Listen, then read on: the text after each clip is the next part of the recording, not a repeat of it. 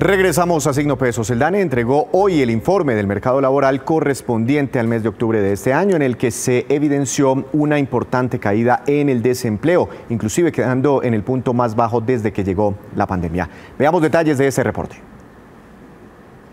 que la tasa de desempleo nacional para el mes de octubre del 2021 se ubica en un 11,8%, lo cual la pone por debajo de la tasa de desempleo que teníamos en octubre de 2020 de 14,7%.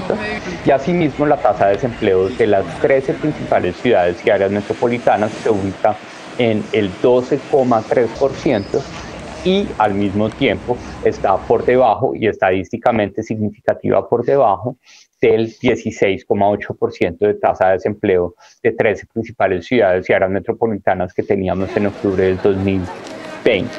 La reducción de 2.9 puntos porcentuales de la tasa de desempleo nacional cuando comparamos ese 11.8 con ese 14.7, pues en valores absolutos es la más pequeña que hemos visto desde la senda de reactivación que observamos específicamente en el mes de abril, que es natural o consistente con los niveles o el efecto base del mes de octubre de 2020 con el cual nos estábamos comparando. Adicionalmente, estamos viendo que eh, a diferencia de los comportamientos de crecimiento constante interanual de la tasa global de participación, estamos viendo una tasa global de participación que es ligeramente inferior, en este caso en 40 puntos básicos a la que teníamos en el mes de octubre del 2020. Y para analizar estos y otros detalles de este informe del mercado laboral, quiero saludar a esta hora de la noche al doctor Iván Jaramillo, director del Observatorio Laboral de la Universidad del Rosario. Buenas noches, doctor eh, profesor Jaramillo. Gracias por estar aquí en Signo Pesos. ¿Cómo le ha ido? Muchas gracias por la invitación, apreciado Víctor. Un saludo muy especial para todos los televidentes. ¿Qué, ¿Cómo le pareció esa caída en el desempleo, inclusive hasta una cifra inferior al 12%? Sí, es una cifra interesante, conectada con el crecimiento económico que parece constante y confiable. Eh, de todas maneras, hay que advertir, Víctor, que dentro de lo bueno hay que saberlo analizar y estamos de todas formas muy por encima de la cifra previo a la pandemia, es decir, 11.8 es una cifra muy positiva en la recuperación frente al 14.7 del año pasado, pero sigue estando por encima del 9.8 de octubre de 2019. Si uno mira el mes de octubre, estacionalmente, eh, en, la última década se ha, se ha eh, fijado entre el 8 y el 9%, desde el 7 al 9%, la tasa de desempleo en este mes, en 2012, 13, 14, llegamos a 2019 con 9,8, subió en la pandemia 14,7 y ha bajado en este proceso de reactivación a 11,8, lo cual es ciertamente positivo, pareciera una, una, una evidencia de progresiva recuperación del sistema laboral pero hay que prestar especial atención con lo que está pasando desde el punto de vista epidemiológico y las, las posibles, la posible ralentización de la recuperación en función de lo que pase con la nueva variante de la COVID-19. doctor Jaramillo, eh, pues digamos muchos analistas dicen que sí, que la cifra es positiva, como usted lo resalta en este momento, pero me llama mucho la atención lo que usted dice, es decir, hay que compararnos con todos los meses de octubre de aquí para atrás para entender qué está pasando con el desempleo. Se lo pregunto porque es que muchos están cantando victoria porque en enero y febrero del año pasado, antes de que llegara la pandemia, el desempleo mensual estaba por encima del 12%. Entonces muchos están diciendo, eh, ya estamos en niveles prepandemia, estamos ya por debajo del desempleo que teníamos antes de que llegara el coronavirus. Claro, pero es que enero y febrero tenían una caracterización especial. De hecho, Víctor, previo a la pandemia, Colombia estaba muy por encima del promedio regional de América Latina y del Caribe. En realidad, la meta del cuatrenio de este gobierno era bajar al 7,8% de desempleo. Yo sé que las, cifras no dicen mucho, pero la idea era ponernos, eh, alinearnos a los países de América Latina y del Caribe. Estábamos muy por encima con ese 12,1%, pero era para enero, febrero de 2020. Si uno revisa para atrás qué pasaba en octubre de 2019, previo a la pandemia realmente, estábamos en 9,8%. Entonces, no es ser pesimista, no es ponerle peros a todo, pero sí pensarnos cómo hacemos para regresar a los niveles prepandemia, pero más que a los niveles prepandemia, a los niveles óptimos dentro de un sistema de relaciones laborales en el contexto de América Latina y el Caribe, que conecten suficientemente la evidencia de recuperación económica con el bienestar de los hogares, con la recuperación del empleo, que es a lo que aspiramos todos, por supuesto, pero no puedo negar que es una cifra positiva. Eh, reconfortante, moderadamente optimista frente al proceso de recuperación que está transitando el país económico, que es con lo que se conecta en estas cifras del sistema laboral. ¿Qué hay detrás de esa recuperación en el empleo? ¿Qué jalonó esta, esta generación de más puestos de trabajo y esta generación en la tasa de desempleo? Sí, la reapertura, la reactivación, obviamente la conexión con eh, sectores que habían eh, sufrido muchísimo en la pandemia y han logrado eh, pues una inversión de esa carga que traían en todo el contexto de pandemia. definitivamente los estímulos que se han venido incorporando al sistema laboral para la generación de empleo, el papel de las políticas activas del Servicio Público de Empleo. desafortunadamente seguimos con tasas de informalidad muy altas, a pesar de que también eh, interesantes cifras de recuperación en materia de formalidad, pero seguimos en oficial 46-47%. Luego, detrás de esto hay una, una estrategia de reactivación que se conecta con la recuperación económica. Es que el empleo no depende solo de leyes y reducción de derechos como tradicionalmente se ha pensado, sino que está ligado a la recuperación económica, a la demanda agregada y ojalá a políticas de acento en la población especialmente vulnerable, mujeres, jóvenes y personas con discapacidad que han sufrido especialmente en el contexto de la pandemia y que demandan políticas activas diferenciales para la recuperación de los niveles de empleabilidad. Yo escuchaba y veía esta mañana al director del DANE resaltando que dentro de los empleos recuperados fueron las mujeres las que más recuperaron empleos frente a los hombres. ¿Se empieza a cerrar esa, esa brecha eh, de género en materia del mercado laboral? Sí, parece haber una evidencia progresiva de reducción de la brecha ocupacional, es decir, de acceso al sistema laboral. Parece mantenerse la brecha salarial y el famoso techo de cristal que impide que las mujeres asuman cargos de dirección, responsabilidad, etcétera. Sí, se mantiene una brecha de 7,3 puntos, eh, evidentemente se está reduciendo. Esto deriva de sectores feminizados que habían sufrido especialmente en la pandemia, la reapertura de colegios, que han reducido mucho la presión sobre las mujeres en materia de actividad de cuidado. Pero no hay que olvidar, Víctor, que muchas mujeres transitaron hacia la inactividad, no hacia el desempleo. Justamente si uno mira las cifras de inactividad eh, constantemente en la pandemia y hoy en día, el renglón que más eh, soporta el acento de la inactividad, es decir, las personas que no están buscando empleo, que no están interesadas en ingresar al sistema laboral, son las mujeres que se dedican al renglón oficios del hogar. Y en este país se considera actividades de cuidado inactividad. Luego siguen habiendo tareas pendientes, hay un progresivo cierre de brechas, no, no puede negarse, pero falta poner un poquito el acento en la estrategia de mejora de todos estos condicionantes y variables que obviamente condicionan toda esa brecha ocupacional de un patrón cultural machista de Colombia histórico que hay que intentar cerrar, pero eso se explica normalmente, Víctor, por eh, la recuperación de sectores feminizados, la reapertura de colegios, etcétera, eh, que estamos transitando, parece favorablemente, pero que no podemos eh, cantar victoria, hay que acentuar toda la política para reducir esa brecha, no solo ocupacional, sino salarial. Me quedo con esas frases, positiva las cifras de desempleo, pero no hay que cantar victoria. Profesor Jaramillo, muchas gracias por estas opiniones para Signo Pesos, que tenga una feliz noche. Muchas gracias a ustedes por la invitación. Una feliz noche para todos los televidentes. Es entonces, en octubre, el desempleo más bajo desde que llegó la pandemia a nuestro país. Hacemos otra breve pausa, pero ya les contaremos cuánto tiempo se requiere para leer los términos y las condiciones de las diferentes plataformas y redes sociales. Ya les contamos.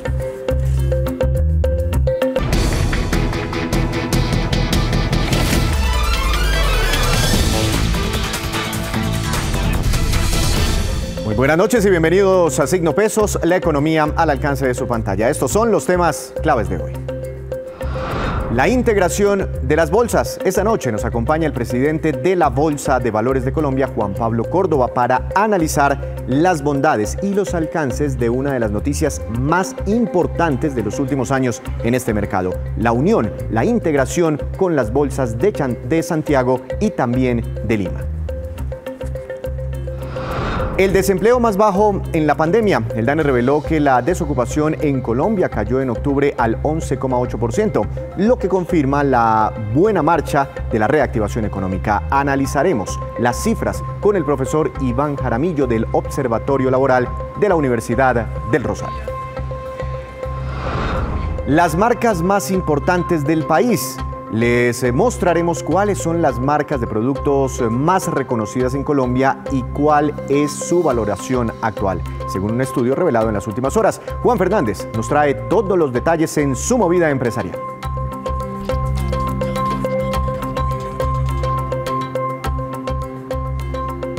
Y comenzamos esta emisión hablando de una noticia muy importante para el mercado de valores y para las miles y miles de personas, también para las empresas que emiten sus títulos en la bolsa de nuestro país. Se trata del proceso de integración de las bolsas de valores de Colombia de Chile y de Perú. Para analizar los alcances y las bondades de esta integración, quiero saludar a esta hora de la noche al doctor Juan Pablo Córdoba, presidente de la Plaza Bursátil Colombiana, de la Bolsa de Valores de nuestro país. Doctor Córdoba, buenas noches. Muchas gracias por acompañarnos aquí en Signo Pesos. ¿Cómo le ha ido? Muy buenas noches, Víctor. Eh, aquí todo muy bien y un saludo muy especial a todos los oyentes. Me, imagino que muy bien, doctor Córdoba. ¿Por qué no nos explica en qué consiste esa integración de las bolsas de valores de Colombia, de Lima y de Santiago? Bueno, no, pues es, yo creo que es una noticia muy buena para el país y para los mercados financieros. Eh, aquí de lo que se trata es de construir un mercado más grande, más importante eh, ¿Y qué es el mercado de capitales? El mercado de capitales, en últimas, es una plaza de mercado en la cual eh, lo que se busca es mejorar las fuentes de financiación para las empresas. Entre más desarrollado esté el mercado de capitales, mayor acceso a financiación van a tener las empresas y entonces más capacidad de crecimiento eh, y de inversión y de, generación de negocios. Entonces, desarrollar los mercados de capitales es un propósito que traemos de, de tiempo atrás es un propósito nacional para, para, el país, es mejor que haya un mejor mercado de capitales a que no lo haya. Y en esta integración de los tres países lo que estamos diciendo es, creemos que tenemos un mejor chance a desarrollar los mercados de nuestros países si nos unimos, generamos mayor economía de escala, mayor sinergia, mayores eficiencias, menores costos y mayores oportunidades para las empresas eh, y para los inversionistas en nuestros países, de tal manera que estamos comprometidos con esta integración para que a todos nos vaya mejor. Doctor Córdoba, pero en, en la práctica pasamos de tener tres bolsas de valores a tener una gran bolsa de valores en estos tres países, la misma para los tres países. Ese es el propósito, ese es el propósito. Así como hace 20 años se hizo la integración de las tres bolsas que había en Colombia, que eran la Bolsa de Bogotá, la Bolsa de Medellín y la Bolsa de Occidente, se unieron todas en lo que hoy es la Bolsa de Valores de Colombia. Ese proceso ha sido, yo creo que muy exitoso, muy bueno para el país y muy bueno para todos los participantes del mercado, pero es insuficiente. Entonces, en este mundo que está totalmente globalizado y donde la competencia por el capital y la financiación es global, tenemos que seguir haciendo esfuerzos para que nuestro mercado sea más relevante y más eficiente y en ese orden de ideas integrar las bolsas de los tres países en el mismo sentido para crear una gran bolsa de valores de los tres países y que los, las acciones, los bonos, los derivados, todos los productos financieros de los tres países se terminen eh, negociando en una única bolsa. Ya, le voy a preguntar en la práctica cómo funcionaría para el inversionista, pero si vamos a crear una gran bolsa integrada de estos tres países, ¿nos podríamos acercar en tamaño a otros dos grandes mercados que hay en la región como México, de pronto Brasil? Así es, esta, esta suma de los tres eh, mercados de Colombia, Perú y Chile eh, eh, constituiría un mercado muy similar en tamaño al mercado mexicano, de tal manera que ya habría, digamos que tres grandes eh, bloques, si se quiere, en América Latina, que serían pues México, Brasil y ahora esta bolsa unificada de Colombia, Perú y Chile. Así que nos posiciona muy bien. Eh, en algunos aspectos inclusive sería más grande que la bolsa mexicana. Obviamente la bolsa mexicana nos tiene ciertas eh, ventajas en algunos aspectos y la bolsa brasilera que es mucho más grande que las otras, que las otras bolsas de la región. Pero, pero este bloque haría un, un tercer bloque muy interesante para los inversionistas de fuera de la región y de la región obviamente. Doctor Córdoba, me gustó mucho ese símil, ese ejemplo que puso usted entre comparando lo que hace una bolsa de valores y lo que es una plaza de mercado. Y si seguimos con ese ejemplo, en la plaza de mercado, pues los colombianos podemos ir fácilmente a comprar la papa, la cebolla, digamos que esas son como las acciones, ¿no? Eh, en esta integración, alguien desde Chile podría comprar sin barreras y con mayor facilidad la papa colombiana, es decir, la acción colombiana, o la cebolla colombiana, es decir, eh, la acción del Banco Colombiano? ¿Es algo parecido? Así es, totalmente. Lo que queremos es que al final del día, pues la bolsa es la plaza de mercado, como dice usted, entonces sería un solo galpón en el que hay eh, productos chilenos, peruanos y colombianos y cualquier consumidor chileno, peruano o colombiano que entre a ese galpón va a poder indistintamente comprar los diferentes productos y muy importante, las reglas de juego para comprar esos productos de los tres países van a ser idénticas. Las reglas para eh, generar las obligaciones financieras van a ser idénticas. Las reglas de juego para liquidar esas operaciones, o sea, hacer el pago de esas operaciones, debería ser idéntico. De tal manera que yo no tengo que aprender que si estoy comprando papa chilena es diferente a comprar la papa colombiana. No, es lo mismo y voy a pagar de la misma manera y me van a entregar la plata, me van a entregar la papa a la salida y me la puedo llevar para mi casa. Entonces la idea es estandarizar eh, esos procesos, hacerlos muy sencillos, muy comprensibles para todos los eh, actores del mercado y eso entonces lo que hace es que anima que haya más negocios y si hay más negocios pues hay más oportunidades para todos. Doctor Córdoba, antes pues para comprar la acción chilena o la cebolla chilena en estos mercados separados, divididos, pues yo tenía que pagar en moneda chilena, en pesos chilenos. Ahora, ¿cómo va a ser ese pago en, en un mercado integrado? Yo quiero la papa, la acción de una empresa chilena. ¿Cómo debo hacer ese pago? Entonces, la, o sea, en principio, pues si usted compra la, papa chilena va a tener que pagar en pesos chilenos, pero lo que vamos a hacer es que le vamos a poner a su, a su disposición, digamos que una cosa que se llama una cámara de compensación. la cámara de compensación recibe sus pesos colombianos y podría entonces esa cámara o cumplir la obligación que usted tiene en Chile con los pesos chilenos allá, allá en Chile. Entonces, le hace la vida más fácil al colombiano, al peruano o al chileno para comprar esos productos de los demás países porque puede cumplir de alguna manera en su moneda local sin tenerse que ocupar de ese proceso cambiario. Entiendo, esto facilita mucho la, vida para los inversionistas. Bueno, doctor Córdoba, Así es. ¿qué importancia tiene esto? ¿Cómo les va a servir a las empresas que necesitan capital, que necesitan financiarse, las empresas colombianas? ¿Y esto tiene algún impacto sobre la economía, sobre la vida de los colombianos, esta integración de las bolsas? Muchísimo, digamos, y digamos, en, teoría tiene muchísimo impacto y es el propósito que tenemos. Eh, al tener un mercado más grande eh, y donde hay más jugadores, pues lo que uno ve es que debería haber más oportunidades, más oportunidades para los inversionistas en invertir diversificadamente en productos de los tres países, pero para los empresarios que necesitan financiación también van a tener un mercado más grande donde hay más inversionistas, entonces van a poder colocar, digamos, sus instrumentos financieros entre más inversionistas y eso hace que las condiciones en que se puedan financiar sean mejor, sean mejores. Entonces, si yo soy un empresario, y tengo mejor acceso a crédito o mejor acceso a capital, pues lo que voy a poder es tener unos planes de crecimiento más ambiciosos. En vez de comprar una máquina, voy a poder comprar cuatro máquinas o voy a poder eh, tener financiación no a tres años, sino a 10 o 15 o 20 años.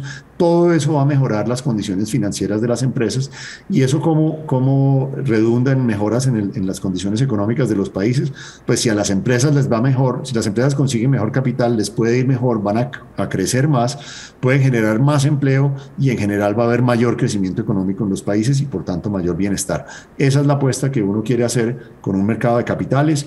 Es, digamos, una conexión eh, indirecta, si se quiere, un poco eh, elaborada, pero al final del día así funciona. Si a las empresas les va mejor, a los ciudadanos de los países nos va mejor y a las economías de los países nos va mejor.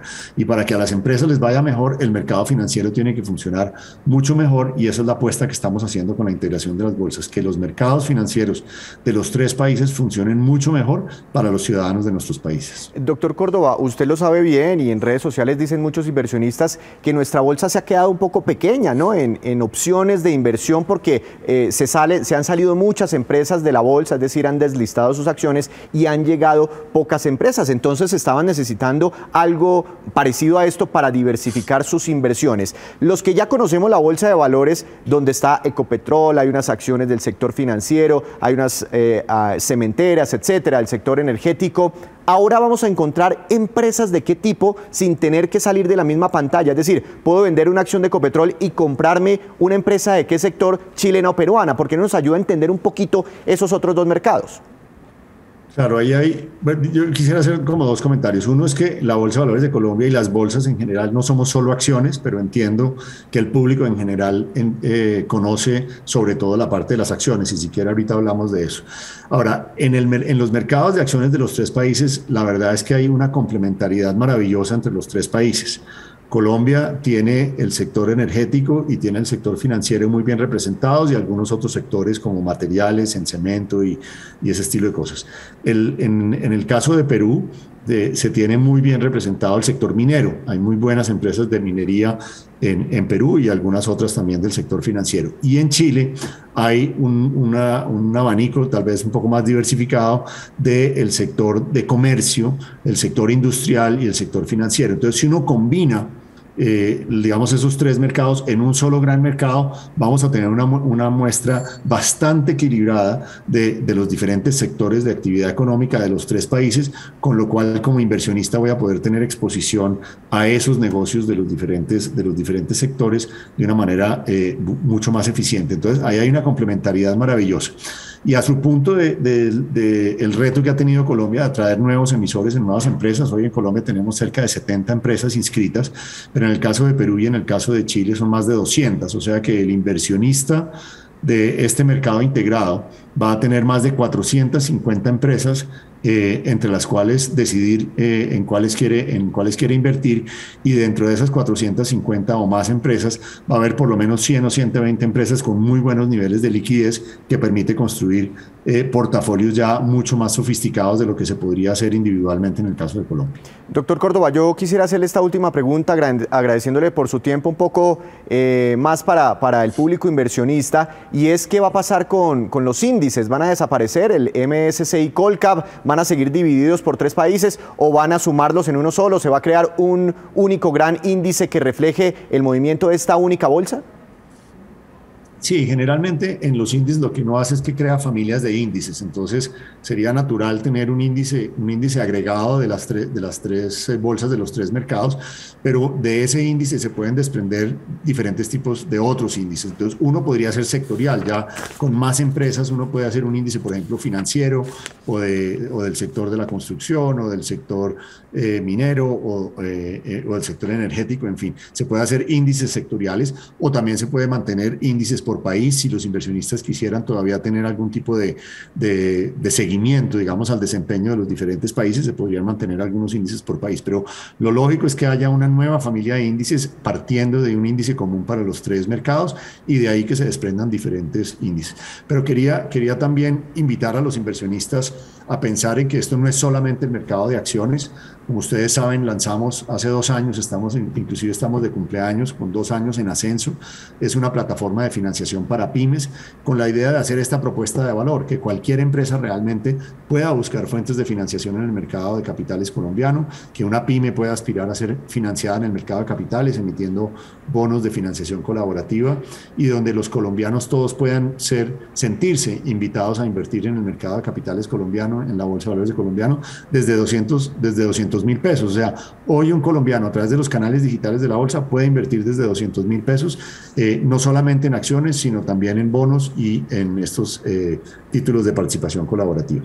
Pues doctor Córdoba, esta noticia se estará desarrollando. Tengo entendido que quedan unas autorizaciones regulatorias en cada uno de los países, así que seguramente seguiremos hablando de esta, que la verdad es una mega noticia para los mercados de capitales y para las economías. Inclusive el propio presidente Iván Duque estuvo celebrando este anuncio de integración bursátil. Muchas gracias por estos minutos y lo seguiremos invitando, doctor Córdoba. Muchas gracias, Víctor. Un saludo a todos. Es el presidente de la Bolsa de Valores de Colombia explicándonos entonces esta movida empresarial porque se están integrando las tres compañías y además se están fusionando los tres mercados. En más información, la Superintendencia Financiera reveló hoy que los préstamos de las instituciones bancarias en Colombia ascienden actualmente a más de 550 billones de pesos, un saldo mayor al que había justo antes de la pandemia. ¿Qué tan saludable es esa cartera? De eso habló hoy el gerente del Banco de la República, Leonardo Villar, durante la presentación del más reciente reporte de estabilidad financiera del emisor. Veamos. En los últimos meses, varios aspectos positivos del sistema financiero han preservado un grado notable de continuidad y estabilidad. La liquidez y solvencia de las entidades financieras se han sostenido muy por encima de los mínimos regulatorios, tanto a nivel individual como consolidado. El cubrimiento de la cartera vencida mediante provisiones continúa siendo elevado y los mercados financieros de deuda pública, privada y acciones han preservado su funcionamiento normal. Al tiempo, por primera vez desde el inicio de la pandemia, se ha empezado a observar una aceleración de todas las modalidades de cartera y se han dado, y se dado también una fuerte desaceleración de la cartera vencida y un aumento en la rentabilidad de los establecimientos de crédito. En línea con la recuperación general de la actividad económica, la cartera vencida se ha reducido y mantiene una tendencia a la baja. Esto es particularmente positivo por cuanto la incertidumbre sobre la evolución de la cartera vencida era la principal vulnerabilidad para la estabilidad del sistema financiero colombiano que se identificaba en la edición anterior del reporte. En esta edición, la principal fuente de vulnerabilidad que se identifica es la exposición del sistema a cambios súbitos en las condiciones financieras internacionales.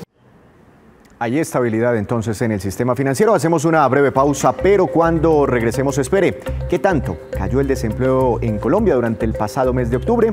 Ya les contamos.